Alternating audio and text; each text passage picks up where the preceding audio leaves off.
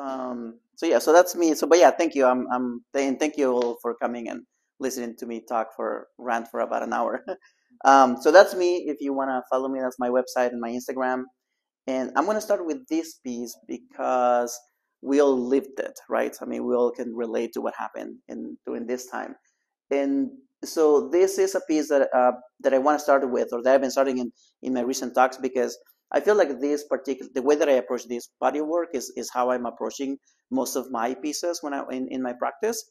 So um, as as you'll probably know and remember, um, this um, particular newspaper this day it listed all the the, the, the, the casualties, or at least a 10% of the casualties up to that moment, uh, which were a, a, thousand names essentially.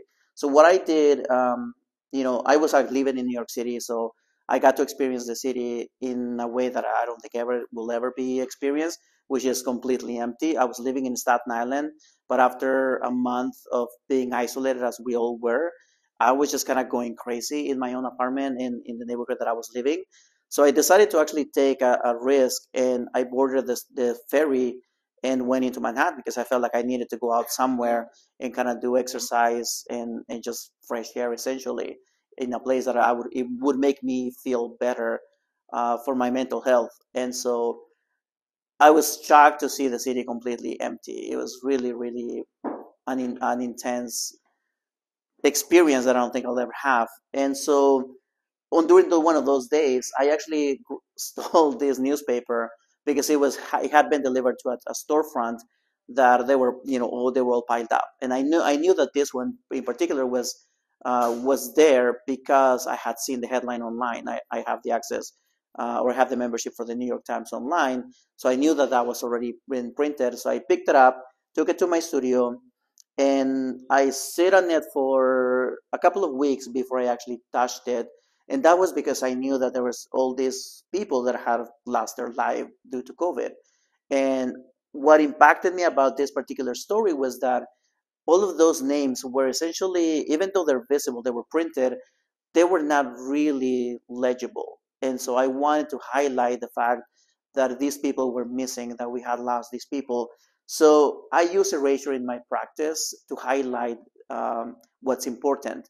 So I decided to erase all of those names, as you can see on this on these images, and I kept track of where how the names were actually labeled on the newspaper or, or how they were printed. Um, and then the final piece was essentially the the article itself without all of those names. It still has all the information, for every single person. Uh, you wish, you know, some of them just listed what their occupation, some of them actually listed surviving family members or what they did in life. Um, but the names are no longer there. And I felt like that this is a good way for showing people, um, you know, the impact of what was happening because I felt that by just looking, looking at all of the all of the text, the names and, and the numbers really just kind of got overblown and it was not it wasn't visible. Um, another thing that I did is I actually uh, one of the reasons I kept those names was because I wanted to bring them more individual individuality individuality, highlight them even further. So obviously we're, we're all using this type of face mask at the beginning, and so I decided to just add those names to every, uh, a single mask, and so I have all of those names with with those masks. And then uh, because I had cut out all of those names from the newspapers, I knew as a printmaker that I could use it as a, as a stencil. Um, and so I decided to just kind of do cyanotypes. Obviously, I was limited to what I could do at the time because you know I didn't have access to a studio anymore. I was only in my apartment, so I decided to use that particular technique to once again kind of make copies of these of these pieces. And again, this is something that I always do in my work, in that I take an idea and then I just kind of explore that same idea through multiple lenses, through multiple multiple medias, to find out which one is the one that's actually working, or maybe the combination of all of them will be the ones that would be kind of working.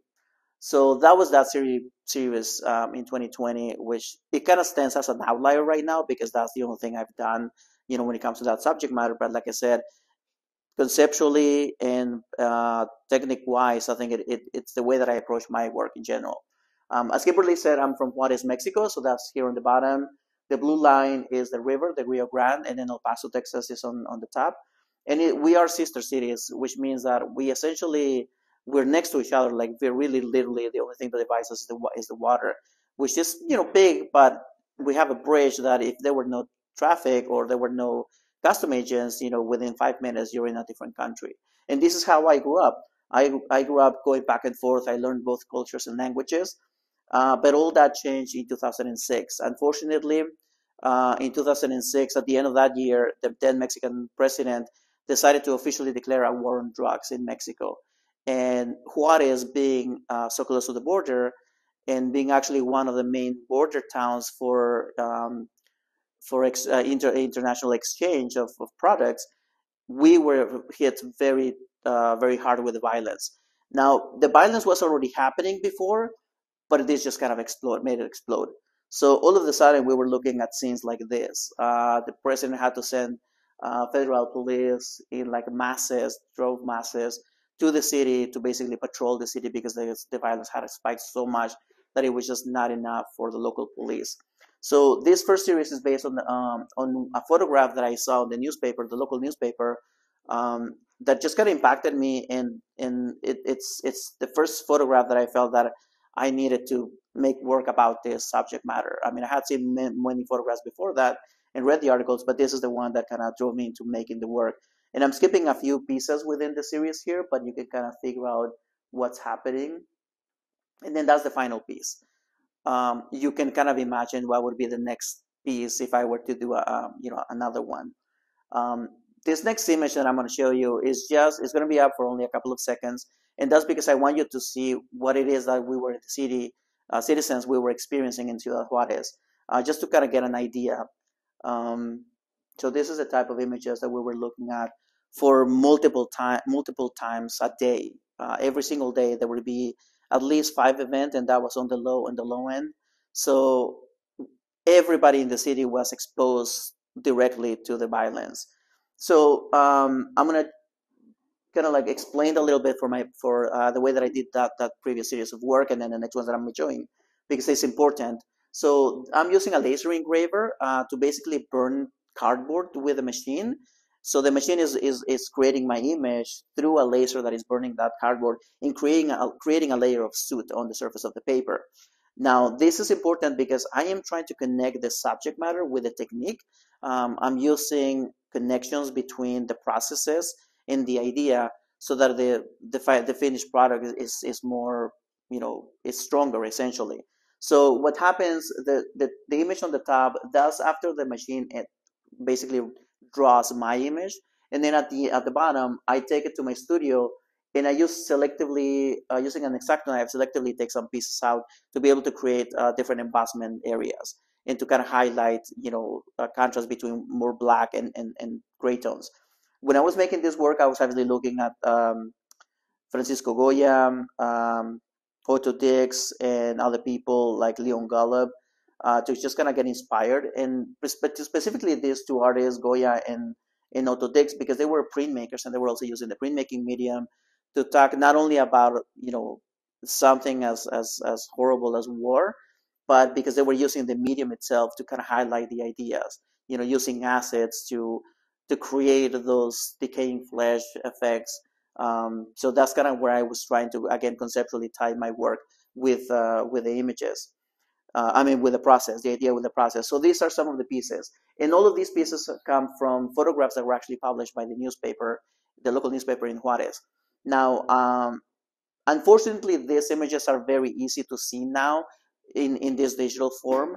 When you see them in person, they're actually much more abstract. Uh, I think because of the scaling down and because of the digital aspect of it, the image kind of becomes a little clearer, at least in my impression.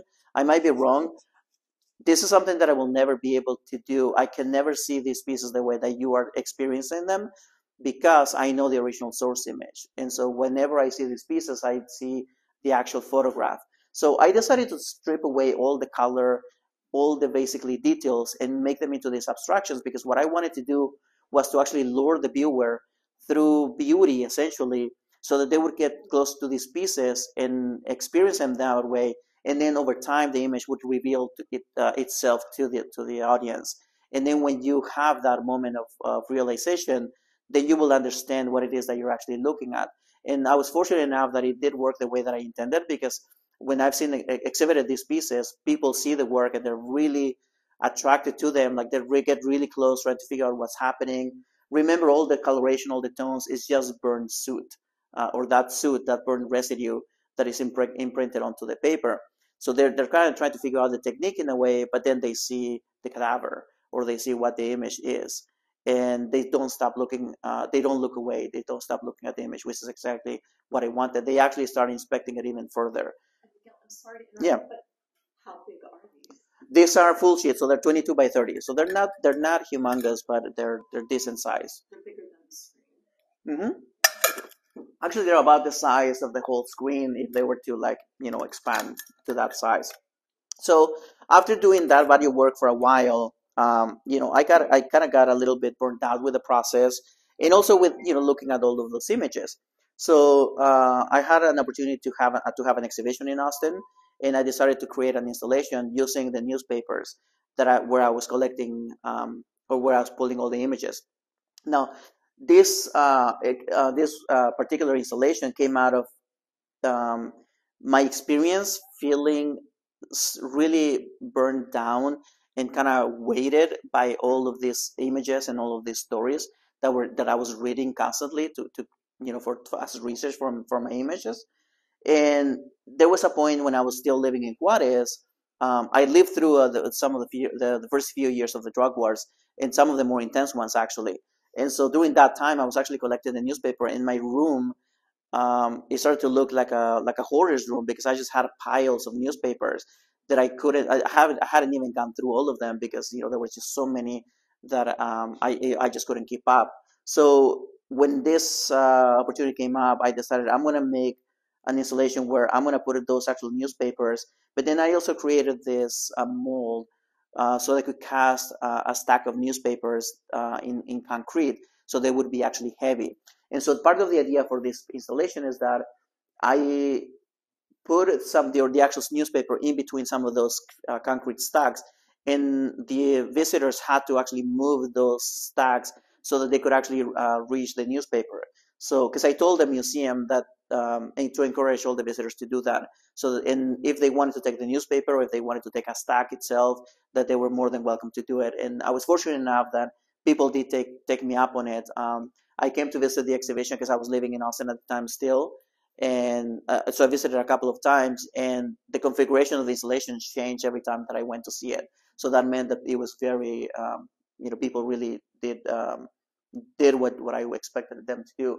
And this was in a way for me to kind of. I mean, I was uh, at the time getting ready to move out of Austin, and so not that I was trying to like get rid of my you know possessions because I didn't. I wanted to travel light, but it was just kind of like more of, of like emptying you know my mind of what I was feeling because I felt like I I felt I felt so heavy, and I I wanted the visitors or the audience to feel that heaviness physically in in how I'm in how I was you know perceiving it. Uh, this is a Mexican artist, uh, Teresa Margolles, and this is an actual wall that she purchased from a, a, a home in Culiacan, where she's from. And this is where, in front of it, there was a shootout, essentially. And so those are the remains of the shootout. And and you can see some of the numbers from the forensics where they were, you know, kind of like doing doing their job. So she bought this uh, wall from uh, from the owners of the house to, and she's been traveling around the world to highlight, you know, and, and pay put attention into the violence in Mexico. So after seeing that piece and a few other, you know, things that I was happening, that I was looking at uh, and researching at the time, I came with this idea of using a hand drill to recreate portraits. So, um, you know, uh, like I do as an artist, I always want to keep myself entertained, and so I try to change processes because once I start doing something too many, too much, I just kind of get bored. Um, even if the idea is, you know, still driving me, if the if the process becomes monotonous, then I feel like I'm not doing justice to the idea. So this was one of those moments where I needed to, to switch and do something different. Um, so what I decided to do for this one is I decided to concentrate on the portraits of those people. So before I was doing abstractions of those images, and the reason that I was doing the abstractions was because I was thinking of how those were memories for all of us who were living in Juarez that we didn't want to remember. But you can't really forget everything completely. Something kind of lingers always in our memory, and there's something that will spark, um, you know, that that emotion or that scene and it'll come back to you, but it won't be exactly the same. It will be more of an abstraction of what you saw. And so that was kind of the idea for that previous body of work. For this one, I wanted to be a little bit more literal and more visual. So, like I said, I concentrated on, on the actual portraits and I decided to make them actually big pieces. So these are 38 inches by 50 inches tall. Uh, so they're really large. And because of that, and because the images were coming out of the newspapers, the pixelation kind of got enhanced. So that gave me the idea that I actually I wanted to erase these people. I wanted to erase the violence from these people's life because they went they were they were taken out of this life, you know, through a violent method. And so I felt that if I erase them, then I'm cleansing them in a way. I get, you know, going back to this idea of using erasure, not as a destructive form, but more as a, as a cleansing. Um, so what I did is I put together a stack of sheets of paper, white, black, as you can see, and then I was using a, um, a drywall as a backing to be able to hand drill one half ton at a time using different uh, size drill bits. And interestingly enough, the, the drywall piece is the one that actually received most of the violence and the one that actually got decayed. The paper is actually a lot stronger than I expected it. If I'm being honest, these pieces at the beginning, I was thinking of them more um, performance uh, like than actual physical pieces because I really thought that the paper was going to be completely destroyed and I was not going to have anything in the end. And it's interesting enough that actually it was the opposite. The paper's held up and the backing is the one that I ended up getting destroyed. Um, one of the reasons that I decided to do a stack of paper is because I wanted to have multiples, always kind of thinking as a printmaker, but also because I knew that then I would I could use some of those stencils once I figured out that the paper was going to hold and recreate the portrait. So I'm erasing it to cleanse the violence, but then I'm recreating the portrait, hopefully bringing it back to life in a better way. Now I'm using um, metallic copper enamel paint to recreate the portrait. The reason for this is because there is um, there is a saying in Spanish or in Mexico that is the equivalent of uh, showing your true colors. And so if you translate that saying literally to English, it says you're taking out the copper. And Hispanic people, Mexican people, uh, specifically, we're told that we have copper tone or brass tone skin. So again, conceptually, I'm thinking, you know, I'm bringing that idea of the copper tone skin into this portrait. So making it specific that this is somebody from Mexico. Um, because obviously my work, I feel like it can it can work uh, in a more broadly. It can be about any war essentially, but I do want to have it a little bit spec- give it a little bit specificity. But also this idea of like you're showing the true colors. So who is he? was he a cartel member? Was he an innocent bystander? Was he a policeman uh, or an officer of the military police? And you don't know, and I won't tell you because I'm not judging these people. What I'm trying to do is highlight the fact that we're losing generations of young men, specifically, or more specifically, in Mexico because of this violence. So I, I'm not anybody to judge why they chose that life if they were cartel members, and I don't want you to judge either. Like I don't want you to come into my work see one of these portraits and then read that he was a cartel member and then be like, okay, I don't care for this person because he was a bad guy. That's not about it. He was still a human being. He was still somebody's father, brother, you know, cousin. Um, so this is uh, just a studio shot of how I kind of made the work. Uh, you can see the different stacks of paper. And th- this is just installation shots of uh, how I show the work in different, how I've shown the work in different places. Um, that copper place, uh, copper piece, ideally i actually want to do it on site so um, i have done them on, on black paper that i can sometimes ship but uh, if i have the opportunity i actually want to um, paint a wall in the gallery and then create that piece uh, so that it's temporary so that it lives during the, the, the, exhibition time but then at the end it'll it'll be erased again just as you know like this the lives of these people unfortunately uh, happen and then again also part of the why i made multiples it is, is because it allows me to do installations similar to this. Now this one, they're all obviously different portraits or uh, different people, uh, but I've been able to do use multiples to be able to create larger installations. Uh, this is a larger piece that I did from um, uh, one of the surviving members, uh, family members, um, and it's one of few that I've done so far, but it's something that I'm starting to do more now, uh, or I'm going to be doing more in the future. And then this is also on a larger piece which was this was the second time that i did a full figure. I, I concentrated on portraits at the beginning but then eventually i started um, branched out into making actually full figures. So that's just to give you a scale on, on that particular piece. Um, and then this is the largest piece I've done so far. So this is just the studio shot for when I was making. I had to do it in tiles, obviously, because this is the final piece, and you can see that it's pretty large. So that's uh, 8 feet by 16 feet, um, each panel. Um, so I was fortunate enough that I had the space to show it, and uh, it was a you know large, large enough wall, uh, space that I could that it could be displayed. So I'm really happy that um, and, if I'm being honest, I wish I could do more of these pieces, but I kind of limit myself because I kind of know that I don't have, unfortunately, just yet the ability access to gallery spaces that large. Um, so kind of switching gears a little bit. So all of the all of those pieces, you know, I consider them I consider them as prints, but they're not traditional printmaking or they're not traditional prints. But during, there was a time when Flatbed Press in Austin, Texas, invited me to come and collaborate with them, and they wanted to publish my work essentially. And so I knew that I could just basically use the same technique and actually make blocks that would be more straightforward and editionable in, in, an, easy, in, in, a, in an easier way. I was not interested in making editions. Um, so those pieces that I showed earlier, there are they are multiple uh, copies of each piece of each portrait, but they're kind of different because they're not done in a in a traditional way. Um, so anyway, in Austin, uh, I decided to do two, two woodcuts. Those, those, were the first two that I made I've ever made um, using this particular technique. But I was kind of getting to the point of that technique where I was kind of getting tired of it. So I, I told them, well, can I try something different? And if it works, if it doesn't work, at least we'll have the two woodcuts. Uh, fortunately, they were game. They were more than up for it. So what what I did is I decided to do the same technique but on copper, and then add aquatint to it. So it, um, it was it was a little bit more elaborate. It was going to give me different textures and different tones. So uh, these are just kind of process shots of what, what we were doing.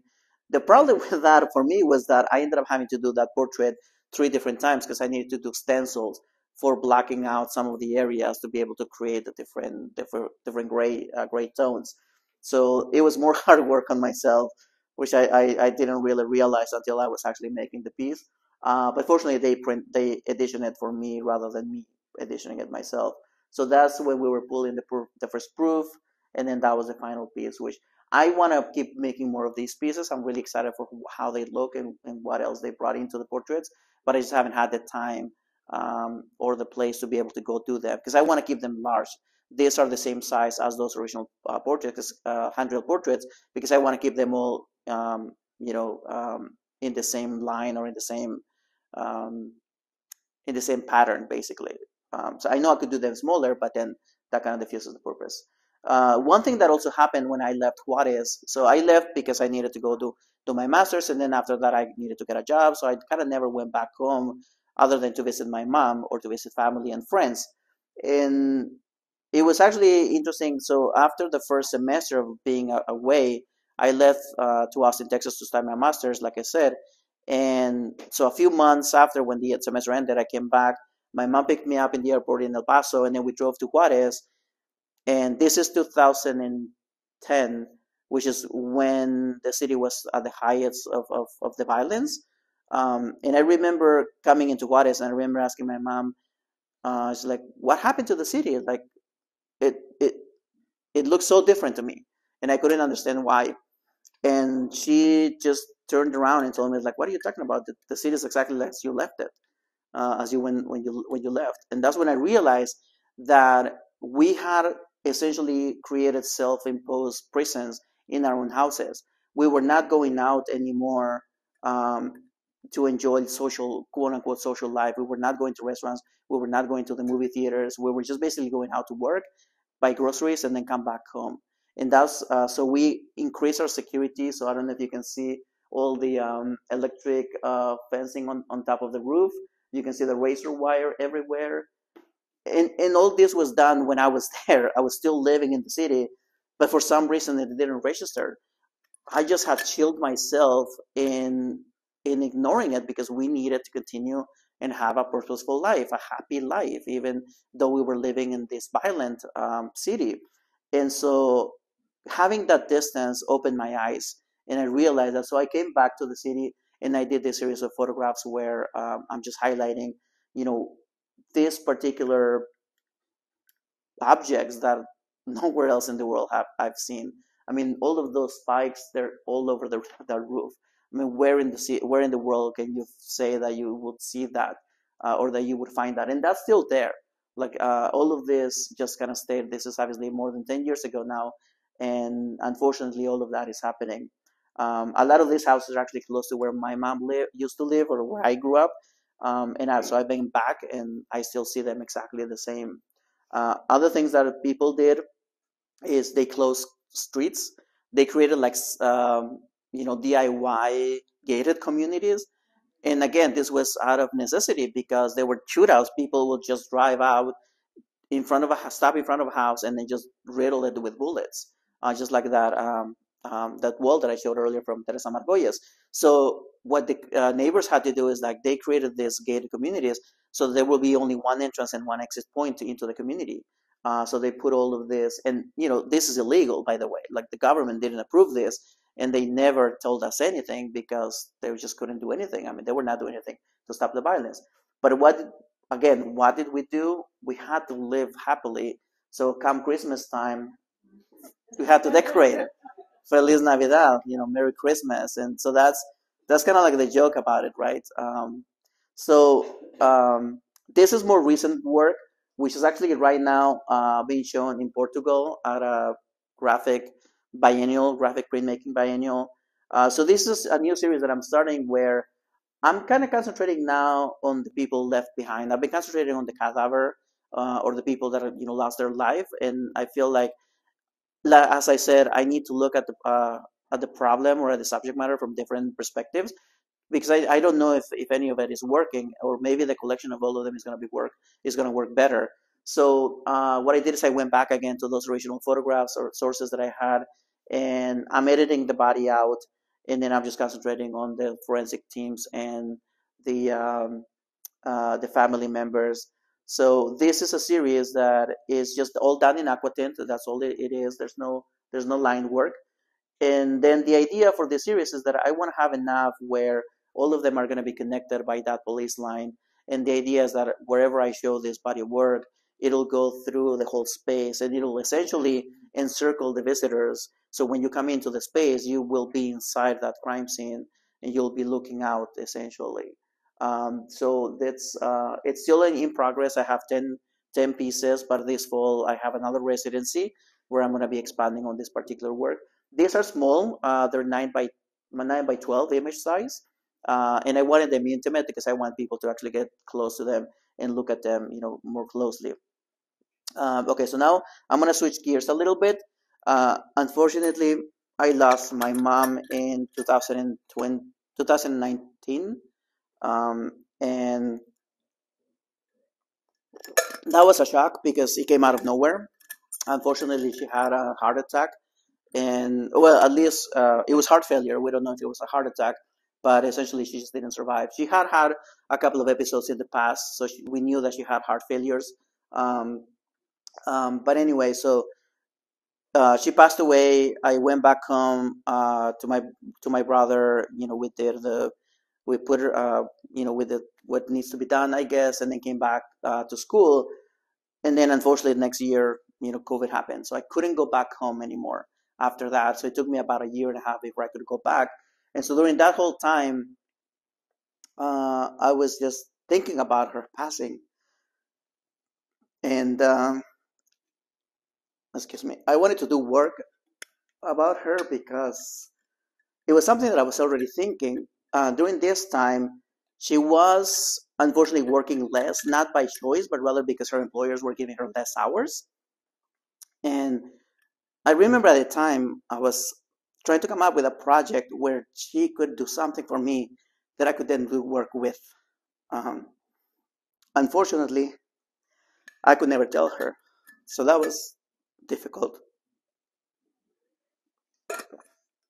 But when I was able to go back home to my brother to the house, um, going through her things because we didn't go through her things during that first initial visit, I found all of these doilies that she had created uh, throughout her life, um, and so that's when I realized I could actually do this project because she left me all of these things essentially. So these uh, these were the first pieces that I made, where I'm just playing formally with those shapes and, and, and those textures using cyanotype because I went home. I didn't have a studio in, Juarez. It was just my you know regular house. So um, I kind of worked uh, with the, with what I had and made those sort of as sketches. Um, and then these are more uh, refined pieces where it's actually the cyanotype and then my mom's piece in front of it. Um, this actually come from my recent exhibition that I had earlier this year. Um, so this is kind of what I'm thinking now. Uh, so at the time, I was thinking that you know this was work that I needed to do for myself, not not as a grieving process. I, I do want to clarify that, but more as a conversation with her because this is what I was planning. It's, it's a collaboration between the two of us, and and I'm just really happy making this work.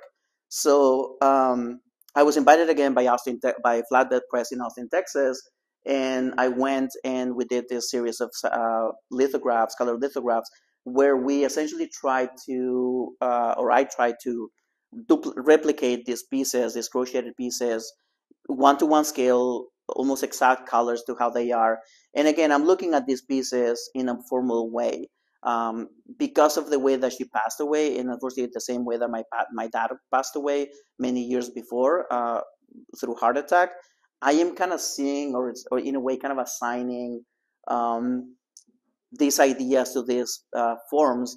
I see them as cell structures. Um, you know, mathematically, everything in, in life is, you know, ends up in, in some mathematical equation. And so I feel like that's that's how, my, how I'm approaching or how I'm looking at these pieces. Uh, this is a little bit different though, and this is, I think, is a portrait of my mom this piece I found it exactly that way, in that when I found that it was half half finished or half undone, however you want to see it. Um, and I feel like, and unfortunately, it represents her life in that she, you know, she was taken from this life without without finishing, you know, what she needed to do, at least in my perspective. Um, so it's a body work that I'm continuing to do and explore.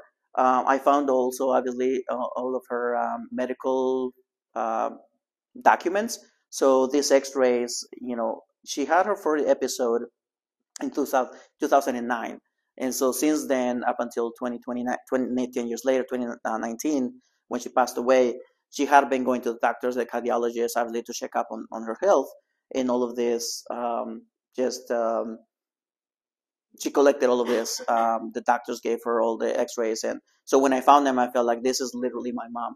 So when I was making this work, um, I knew that I needed to bring her in, you know, not physically, but in a way.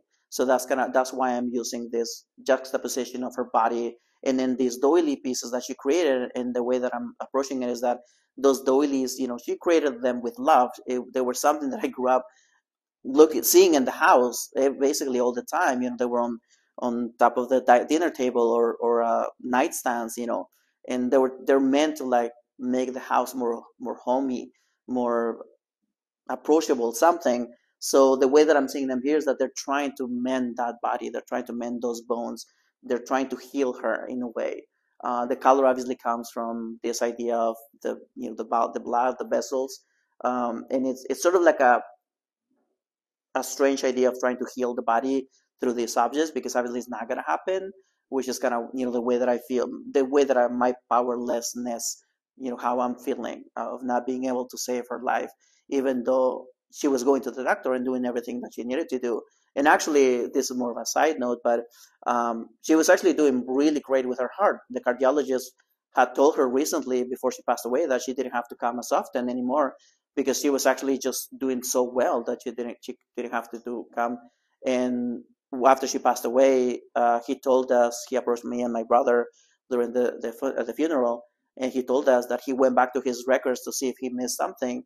And he's like, "Your mom was doing really well." He said, "These things just unfortunately just happen. The the heart gives up when it wants to give up. Give up." Um, so last year, I was fortunate enough that I was invited by um, the Morgan Conservatory. It's a paper making space where um, I could come and explore and do something. So I brought um, the doilies themselves and I created this mono prints in a way. Uh, so it is abstracting even further now those images, which I'm I'm really enjoying what this is doing for the for these pieces. it's kind of it's it's concentrating more on the, the that mathematical pattern that I'm talking about, and these are still kind of like ideas that I'm thinking. It's a new body of work, so not everything is kind of fleshed out yet. But like I said earlier, I'm really excited and really happy of making this body of work. Um, it's it's it's also sad, but it's not as sad as as you know one might think of actually, because I feel like when I'm making the work, I'm connecting with her, um, you know, in, in through the afterlife, I guess.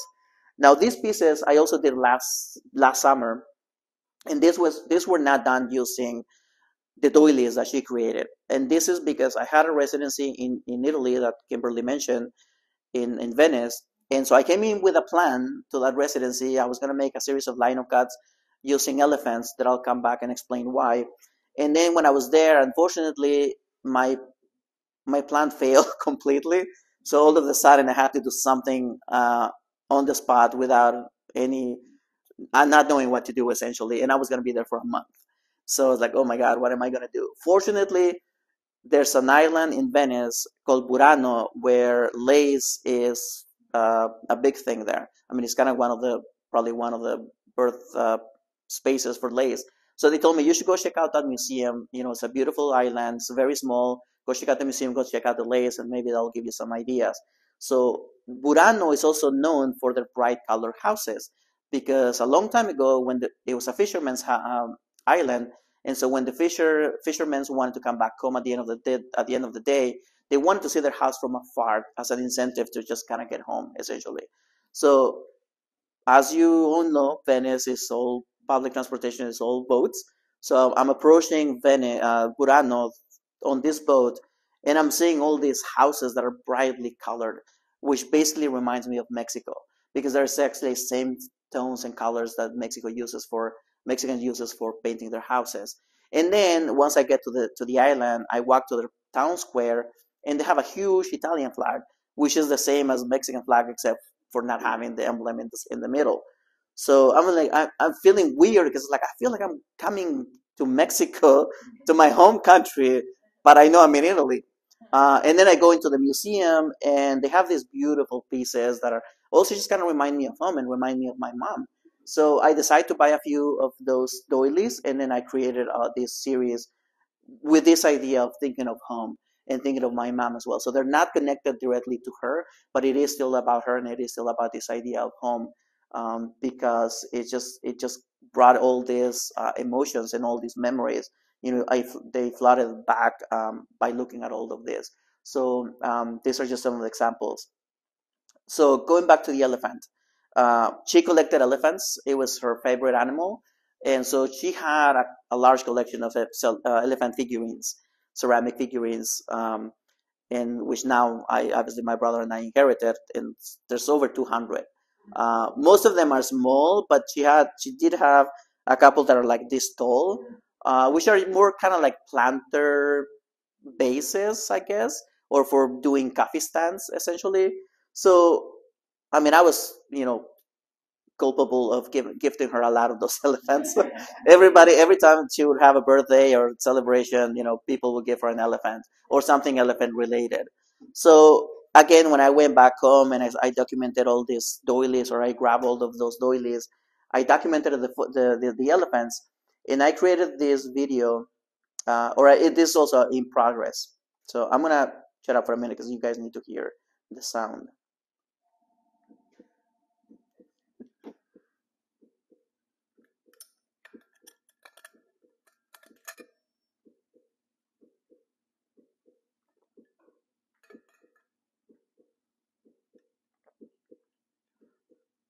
So right now it's just looping. It's only two two elephants. Uh, but this is kind of like the the idea. This is a long term project that I have. My idea is to actually use all of those elephants that I documented, and then they'll be uh, changing in size uh, as well. Um, and the sound that you're hearing right now is obviously of a, of a heart, which is not my heartbeat, but eventually that's what I want it to be. Uh, I want to record my own heartbeat while I'm doing different things so that my heartbeat is not constant as, as it is right now on the animation, but more that it will fluctuate. Uh, and then that fluctuation or that tempo will be the one that will define the tempo for the rotation of the elephants. Uh, I'm also I don't want to use just the photographs because I feel like that's too easy. Um, so I'm kind of processing those elephants in making something out of them first, and then documenting those uh, those pieces and then incorporating them into the into the animation. So the project that I'm actually doing here is going to be part of this as well, and I'll show you at the end what I what I have planned. So this is just an installation shot of my exhibition, my recent exhibition. It just it closed in mid March of this year. Um, so you can see you know some of the pieces. And then one th thing that I, I failed to mention when I was talking about those paper pieces, which are these ones, is that they kind of act like uh, watermarks. So because of the process of making those pieces, there's more paper pulp in certain areas than others. And so when you have a light underneath or behind it, it really glows and it shows the pieces in uh, with more detail. So what I did for the exhibition, I created these stands where uh, they were about this high, and so you had to look down, which kind of brought you know again this idea of them being kind of like you know centerpieces for the dinner table or for nightstands, because obviously everything else is on the walls in a more you know I guess gallery uh, setting in presentation. Um, I decided to bring color, obviously, in, into the work as you've been seeing, as opposed to my previous body of work, which is something that I'm also kind of very excited about. Um, and so, yeah, so that that's that's this is just when when the opening was happening, just to give you a sense. And then I'm gonna finish up with this with this uh, work, and I'll, I'll, talk about it uh, fast because I know I'm running out of time. But so I was invited to uh, Germany. This is back in 2015 or 16, I can't remember now but I was invited specifically to this place called Peenemünde, which is on the northeast of Germany, in, in, in an island that actually Germany owns. And this is the birthplace of um, rocket, rocket technology. So during the World War II era, uh, Wernher von Braun, who ended up in, at NASA after the war, this was basically his research laboratory. Um, he was at the time developing rockets, unfortunately, not to send people to the moon, but more to uh, bomb the Allies, obviously. Uh, this was actually the power plant, so that power plant ended up becoming uh, a museum, a history museum. And so an artist, uh, another artist, a Spanish artist, invited me to come and do a residency during during that summer. And I have no connection to Germany. Um, I mean, well, I do now, but back then I didn't I didn't have a connection. I have no family. I you know so and I have no connection to World War II either. Like none of my family you know um, served on the on the war. So when I was invited to this residency, I didn't know what to do to be honest because I didn't want to come in and do something that was not about the history of that space because it just kind of felt wrong. And so I read a lot. I learned a lot about Wernher von Braun and this space. And these are just is the photoshots of the photos of the installation just to kind of give you an idea. It's a former power plant and like i said they have it open as, as a history. And they should they give you the history of essentially world war ii but specifically for the the creation of the rockets. And then it actually ends up with you know sending people to the moon. Uh, so they do have that as part of it. So anyway so i decided well i'm going to try to see if i can capture the essence of the space and so using i created images based on those structures that i saw so um, again, going back to the laser cutter or laser engraver, I used it to basically create te uh, templates. And then it was uh, the power plant was powered by coal, and they still have a, a lot of the coal on site. So I use ground it out, and then that's what I was using for pigments. I also burned wood from the area and then created ashes, and then that's what how I made it. I made these pieces. I essentially use those stencils to create um, to create the pieces through. But then by doing that, the those pigments ended up also getting stuck to the stencils, which I also kind of like, which is why I made them into pieces. Um, I found random things all over the place, and I just basically use anything and everything to kind of transfer those marks or those colors into paper. So that's me processing, and then that's kind of like the finished piece. Um, I used the dirt and you know debris that was all over, and then using spray enamel to create stencils that then I would use for cyanotypes, uh, kind of like the way that I'm showing here, and then those are the final pieces. So those were the stencils which ended up becoming pieces, and that was kind of the plan at the beginning. That's a different one. And then this is the cyanotype. So for those pieces, I was thinking about how the cyanotypes are essentially like blue map uh, blueprints and but they kind of have like this aerial view effect because of the way that I used um, created the stencils. And so I was thinking, kind of putting myself in that in that time and how it would feel to be in that place working, um, and then hearing all these you know planes from the Allies trying to bombard the place. Because once they found out, obviously they were bombarding them because they wanted to stop this project, uh, which fortunately they did. Otherwise, we would be speaking German. Um, so this is the final installation that I did at the museum. At the end of the of the summer, we had an exhibition with the work that we, we created, um, and that's a better shot actually. Um, and then uh, they had some of the windows, original window displays, and because it is a history museum and it is um, the government government funded, they have to show have it on display. So I asked if I could use them um, uh, as stands for my work, and they said yes. So I created these pieces. And again, I'm kind of I was kind of thinking like what it would feel like living be, working in this power plant, and then also hearing and seeing these explosions outside because they fa- a lot of their project failed. They their rockets would explode every time because they just didn't have the, the science nailed down yet. Um, and through my research, like I learned that there was a lot of explosions when they would fail. So I was thinking like, what it would feel for those workers being there and then just kind of hearing and and feeling those, uh, you know, the, the rumbling of the earth at the time. They were using slaves. Slaves, um, you know, they, they did have a camp. It was not um, a death camp, quote unquote, because they're still actually um, they're not entirely sure, but you know they say that they they were not they were treated better, which I don't know what that means. And then this is just the work being shown in a more traditional setting of a, of a gallery space. And out of this, uh, we were actually fortunate to publish a book, uh, a catalog. So it's a pretty good catalog because it has um, essays from two art historians that uh, talk about the history, uh, one historian and one art historian. So it talks about the history of the space, the history of World War II, and that particular project um, and then also just about us, the artists. Um, this is Gregorio Iglesias Mayo. He's a Spanish artist who invited me, and then obviously myself on the other side. Um, you can find it on Amazon if you're interested. And that's it. I'm gonna finish it there. Thank you.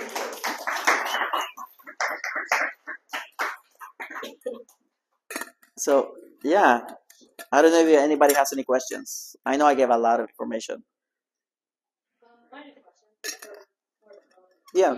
I work with similar materials uh, as well, and uh, you mentioned monotony in your processes. Uh huh. Um, and one of the things that I started to consider was with all of these dealing with death, especially during you know COVID and what you had experienced, is um, there's a monotonous to it. There's a monotony to that type of death, and Yeah. I'm curious, I guess, when when your process gets monotonous, how does that uh, reinforce or continue to enforce your subject matter? Yeah. Um, I don't know how it enforces, but I'm always aware of it. So I, I, looked at, a- I've, I've seen thousands of images, obviously, of crime scenes, and I realized also that there's a, there's only so many ways that the body can fall. And so there's times when I'm looking at a photograph and I'm reminded of another uh, crime scene from a different period, even because of because it just looks almost the same. So it kind of brings it back also into this idea of the multiple or printmaking, and that it's, it's this repeating patterns essentially, which kind of become the monotony. And so when I'm making the work, I do try to focus on that particular image and try to forget all the other ones, so that I'm so that I'm being I'm doing justice to that particular person.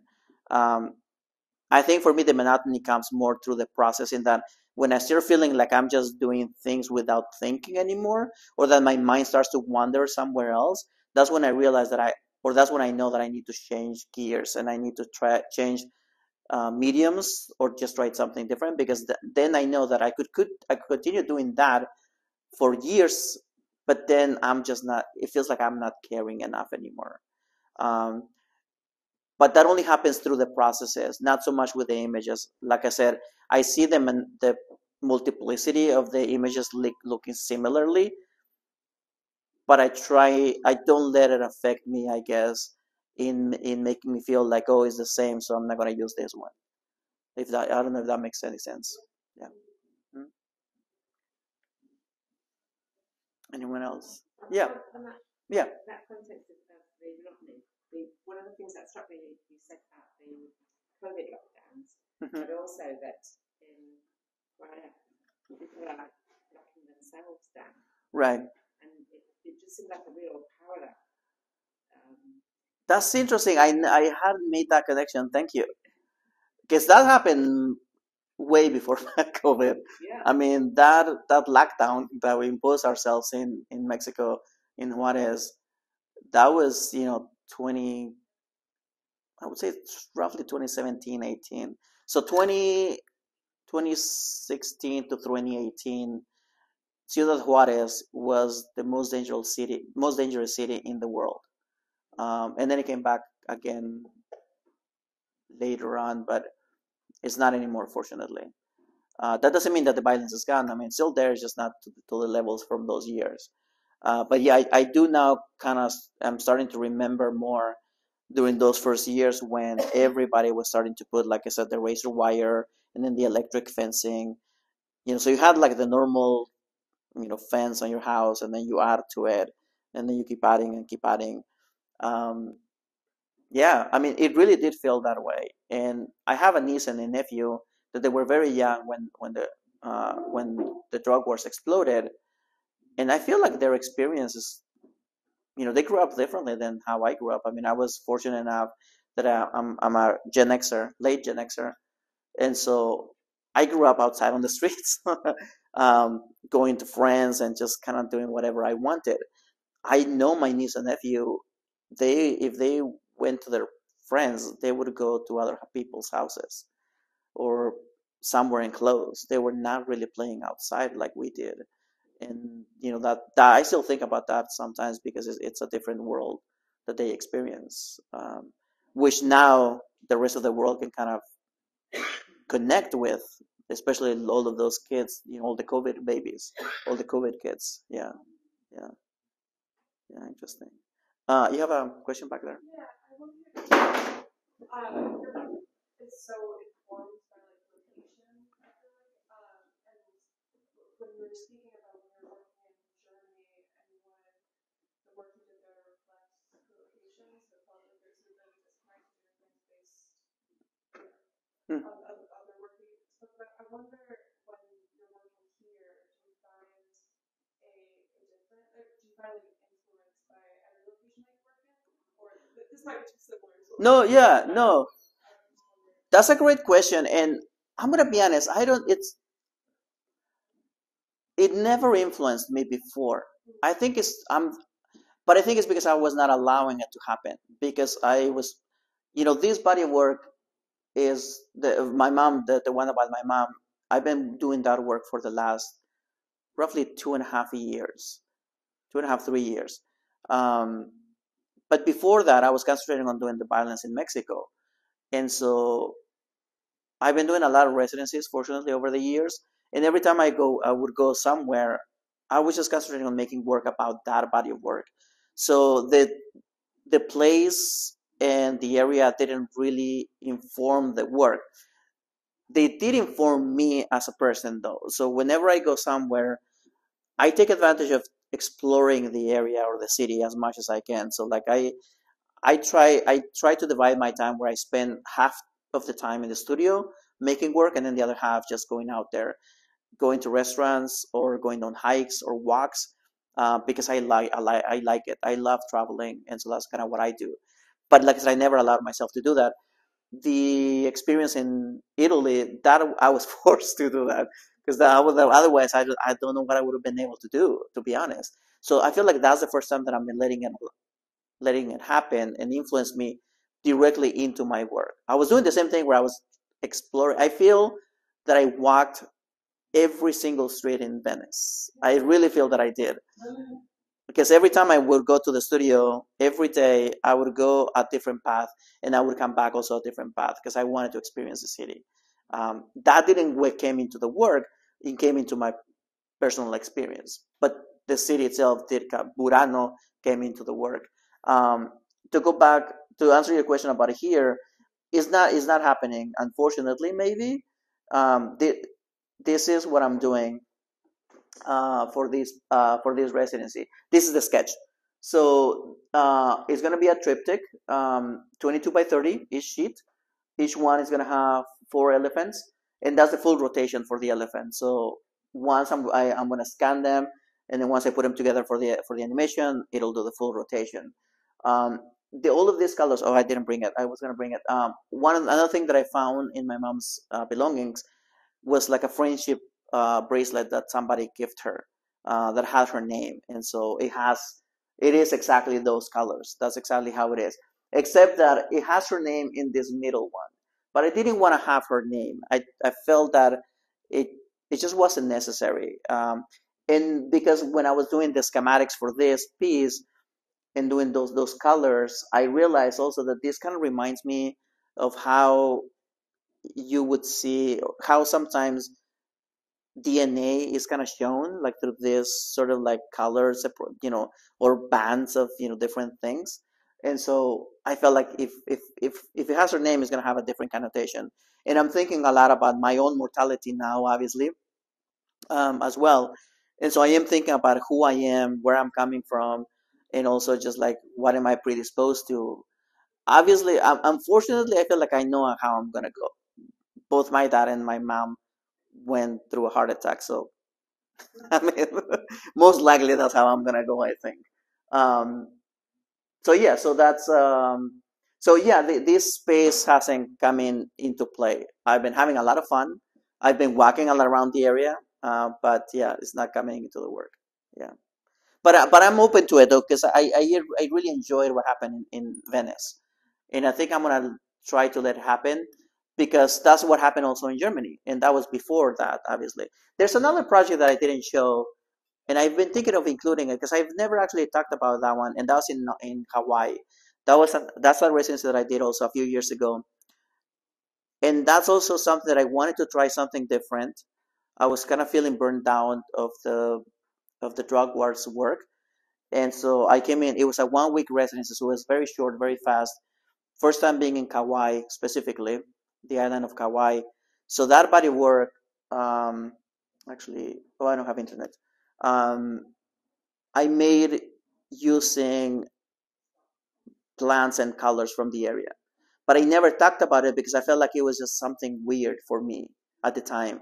Now I feel like it fits because now I feel like my my work is more varied and I need to talk about it more because I now I'm also thinking about it because at the time I realized that what I did in in Kauai was more about life, about celebrating life in a way. And that's because at the time, like I said, I was being feeling burned down of all the research that I have been doing for the for the drug wars. This was before my mom passed away, obviously. So now I'm talking about life in a different way as well. But I feel like I need to bring that also. It was very colorful as well, which now it is. Before it wasn't. So so it has, but not as much. Yeah. That was a long answer. um, anyone else? Thank you. Thank you for coming. Uh, one thing I forgot, uh, I always try to take a picture of the crowd. So uh, I'm just going to do that now. I'm trying to uh, archive my talks this way. yeah, exactly. So it pays off to be on the front row. well, thank you. Thank you, everybody. I'm around if you still want to have a conversation. Yeah. I'm here until Monday. I leave on Monday. Yeah, going back to New York and then flying to Berlin. Yeah, yeah. Thank you. Yes.